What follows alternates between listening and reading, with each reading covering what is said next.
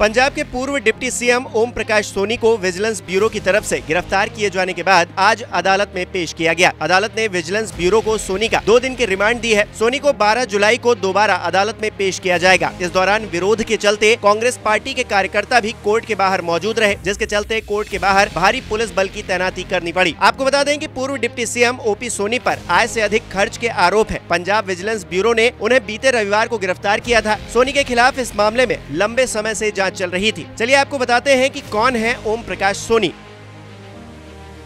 OP Soni Congress के बड़े नेता हैं और पाँच बार के विधायक हैं। वो अमृतसर सेंट्रल विधानसभा सीट से चुनाव जीतते आए हैं। चन्नी सरकार में ओम प्रकाश सोनी राज्य के डिप्टी सीएम थे। वो अमृतसर के पहले मेयर भी रह चुके हैं। सोनी अमरिंदर सरकार में भी कैबिनेट मंत्री रह चुके हैं। तीन जुलाई उन्नीस सौ सत्तावन को अमृतसर के भिल्लोवाल में जन्मे ओम प्रकाश सोनी। पेशे ऐसी खुद को किसान बताते हैं और शैक्षणिक तौर आरोप वो अंडर ग्रेजुएट है। विजिलेंस ब्यूरो के एक आधिकारिक प्रवक्ता के मुताबिक, ओपी सोनी के खिलाफ अमृतसर के विजिलेंस ब्यूरो पुलिस स्टेशन में एक गुमनाम शिकायत लिखी गई थी। उन पर भ्रष्टाचार निवारण अधिनियम की धारा तेरह एक बी और तेरह दो के अंतर्गत केस दर्ज हुआ। 10 अक्टूबर 2022 की जाँच के आदेश के बाद ये एफआईआर दर्ज की गई।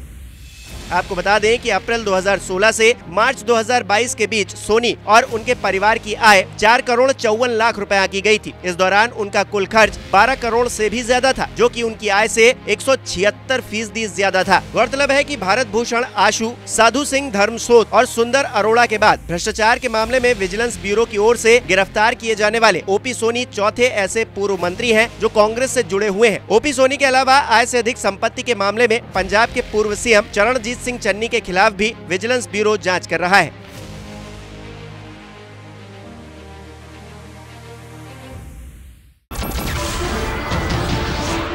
नमस्कार, मैं हूँ मानक गुप्ता। अगर आपको हमारा ये वीडियो पसंद आया हो तो इसे लाइक और शेयर ज़रूर करें। और हाँ हमें सब्सक्राइब और फॉलो करना ना भूलें, ताकि आप देश और दुनिया की कोई खबर मिस ना करें। तो जुड़े रहिए हमारे साथ और देखते रहिए न्यूज़ 24